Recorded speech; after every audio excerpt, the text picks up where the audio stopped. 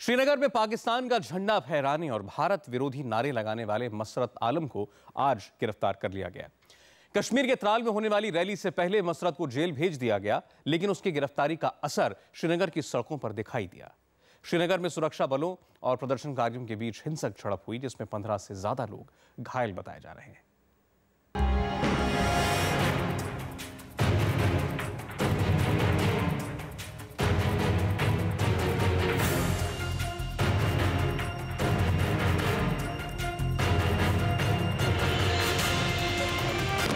कश्मीर एक बार फिर सुलग रहा है।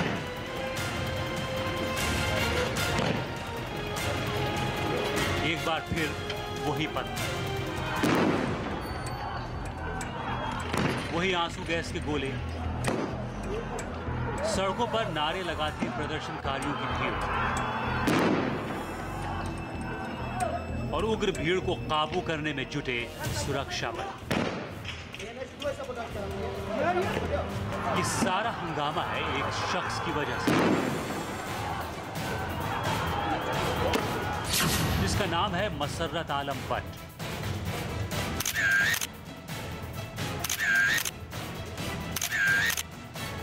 दरअसल हिंदुस्तान के खिलाफ जहर उगलने वाले मसर्रत आलम को फिर गिरफ़्तार कर लिया गया है।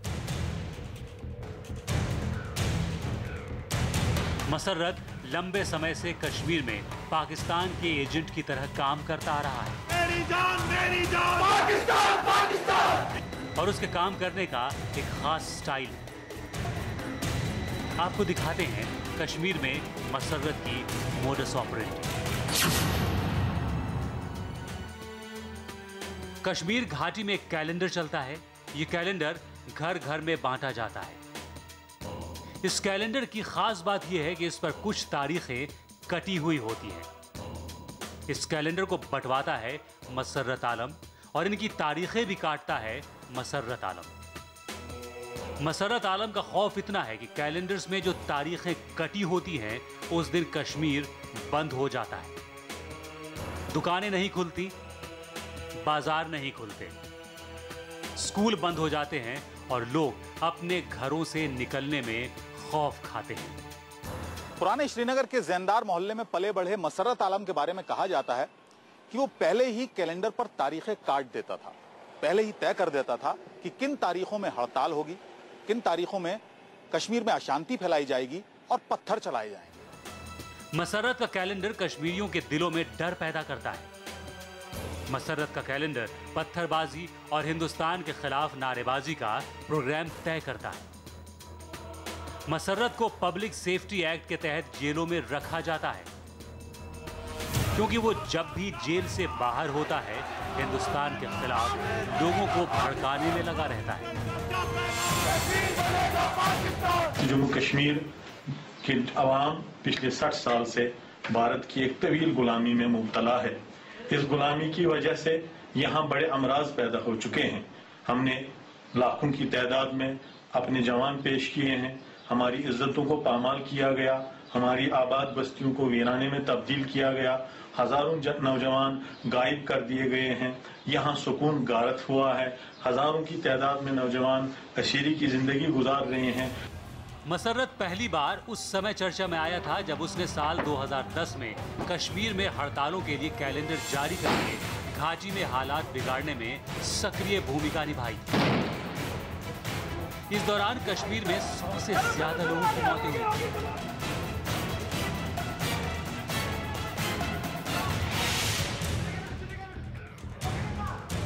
आज से एक महीने पहले तक हम में से शायद ही कोई मसर्रत आलम को पहचानता हो। लेकिन आज ये कश्मीर की सियासत में सबसे चर्चित नाम बन गया। है मसरत आलम की करतूतों का इतिहास पुराना है। पाकिस्तान के झंडे लहराना, पाकिस्तान के नारे लगाना मसरत बहुत पहले से करता आया। लेकिन इस बार वो कैमरे पर आने लगा है।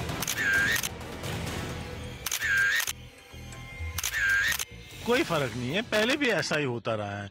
ये आज मीडिया इसको बड़ा चढ़ा के पेश कर रहा है, वरना इससे ज़्यादा इससे बड़ी रैलियाँ यहाँ हुई हैं, जिसमें दस लाख लोगों ने शिरकत की। तो आप 2008 में मिल, ए, ए, दस लाख लोगों ने ईदगाह का रुख किया। तो वहाँ परचम कुशा लहराए जा रहे थे नारेबाजी हो रही थी। पहली बार ऐसा नहीं हुआ रहा है। बुधवार को सैयद अली शाह गिलानी के सामने मसरत ने हिंदुस्तान के मोस्ट वांटेड आतंकवादी हाफिज सईद के समर्थन में नारे लगाए। मसरत खुद कश्मीर का अमन चैन छीनने की साजिश करता है। मसरत की ज़ुबान भी हाफिज सईद की तरह हिंदुस्तान के खिलाफ जहर उगलती है। ऐसे में सवाल ये है कि मसरत को अलगाववादी कहा जाए या आतंकवादी?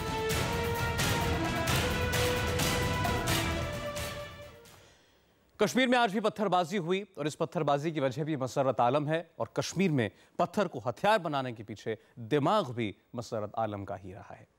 मसरत ने ही कश्मीर के चंद युवाओं को गुमराह करके उनके हाथों में पत्थर थमा दिए। यूँ तो मसरत आलम को अलगाववादी नेता के तौर पर जाना जाता है। लेकिन हकीकत यह है कि उसकी हरकतें किसी आतंकवादी से कम नहीं है।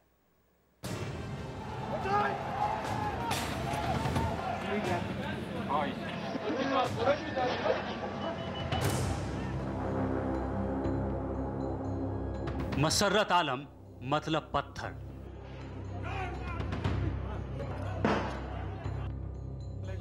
मसरत आलम मतलब पत्थरबाजी। ये पत्थर है। इसको रखने के लिए कोई लाइसेंस नहीं लेना पड़ता।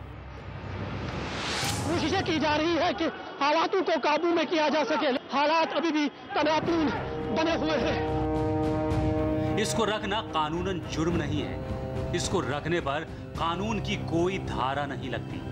मसरत आलम के शातिर दिमाग ने इस पत्थर को अपना हथियार बनाया। मसरत आलम ने कश्मीर के लोगों को बहकाकर उनके हाथों में ये पत्थर पकड़ा दिया। पत्थर को उर्दू में संग कहते हैं। मसरत आलम ने कश्मीर घाटी में संगबाजों की एक फौज तैयार की, जो उसके एक इशारे पर सैकड़ों की तादाद में गलियों में इकट्ठा हो जाती और किसी के साथ भी मरने मारने पर आमादा हो जाती थी। भारतीय सेना ने जब भी मसरत आलम की पाकिस्तान परस्त रैलियों को रोकने की कोशिश की, मसरत आलम के ट्रेन किए गए लोगों ने सेना पर पत्थर बरसाए। 2008 और 2010 के बीच कश्मीर घाटी में मसरत आलम ने पत्थरबाजी को नए हथियार की तरह इस्तेमाल किया था।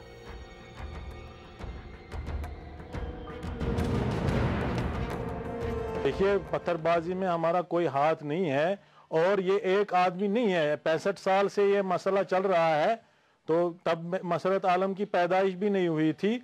जब से ये तहरीक यहाँ चल रही है तो लिहाजा एक फर्द को आप आ, इसका जिम्मेदार ठहराएँगे तो ये आप अपने आ, अपने आप के साथ इंसाफ नहीं कर रहे हैं।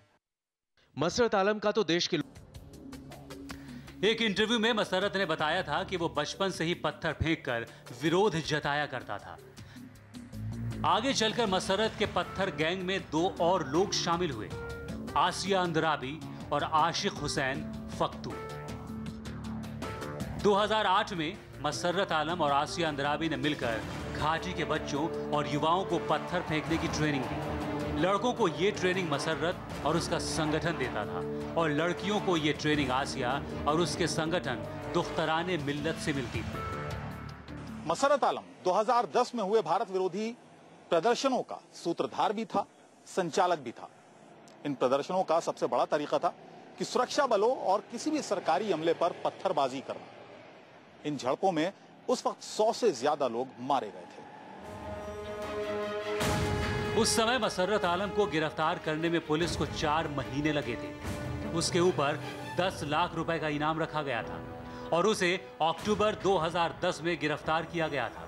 अपनी गिरफ्तारी से पहले मसरत ने खुलेआम कहा था, तुम थक जाओगे, मैं नहीं थकूँगा.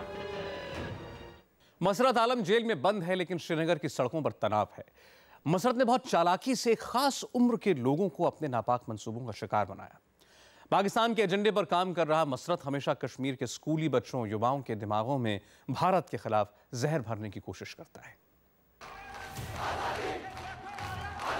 मसरत आलम की रैली में इकट्ठा हुई इस भीड़ पर जरा गौर कीजिए। इसमें छह साल की उम्र के मासूम बच्चे हैं। इसमें चौबीस साल तक के जवान हैं। इससे अलग उम्र के लोग शायद ही आपको दिखाई दें अब जरा पत्थरबाजी करते इन लोगों को देखिए। इनमें भी आपको इसी उम्र के लोग दिखाई देंगे। दरअसल ये मसरत आलम का टारगेट ग्रुप है। स्कूली बच्चों से लेकर नौजवान। इन्हीं को मसरत बहकाता है, इन्हीं को हिंदुस्तान के खिलाफ भड़काता है। इन्हीं को भारतीय सेना के जवानों के खिलाफ उकसाता है। इन्हीं के हाथ में पत्थर थमाता है। और यही वो लोग हैं जो हिंसक झड़पों के दौरान सेना पर पत्थर बरसाते हैं। मसरत आलम के बारे में कहा जाता है कि वो अपनी ज़ुबान से आग लगा देता है। जो काम बंदूक और बम नहीं कर पाते, वो मसरत आलम की जबान कर जाती है। और इसका इस्तेमाल करता है वो खासतौर से युवाओं को गुमराह करने में। हम यही ख्वाहिश करेंगे, हम यही गुजारिश करेंगे कि जो प्रोग्राम, जो कैलेंडर कुल जमाती हुरियत कॉन्फ्रेंस की जानब से आपके सामने पेश हो, उसे मिन कबूल करके उसे कामयाब बनाएँ। हम आपसे वादाबंद हैं कि हम इस गर्म गर्म लोगों के अमीन हैं। हम इन कुर्बानियों के अमीन हैं। हम खुद और न किसी और को इन कुर्बानियों के साथ बेवफाई बरतने की इजाज़त देंगे। हम आपसे वादा करते हैं कि हम हसूली मकसद तक जदोजहद जारी रखेंगे। चाहे हमारी जान चली जाए। कुछ इसी तरह, मसरत ने 2010 में घाटी में आतंक फैलाने का काम किया उस वक्त जमकर पत्थरबाजी हुई। ये पत्थरबाजी मसरत ने नहीं की। मसरत ने कोई पत्थर हाथ में नहीं उठाया। लेकिन इसके मुँह से जो भड़कीले बोल निकले, उसे सुनकर घाटी के सैकड़ों हाथों में पत्थर आ गए। स्कूली बच्चों और नौजवानों ने सेना के जवानों पर चुन चुन कर पत्थर बरसाए। घाटी में अशांति फैलाने के लिए इसकी नज़र बच्चों और युवाओं पर पहले से ही है। 2008 से ही इसने मासूम बच्चों और युवाओं को बहकाकर पत्थर फेंकने की ट्रेनिंग देनी शुरू कर दी थी। मसरत अच्छी तरह से जानता है कि बच्चे और युवा आसानी से उसकी बातों में आ जाएँगे और ये जैसा चाहेगा, वैसा उनसे करवाएगा।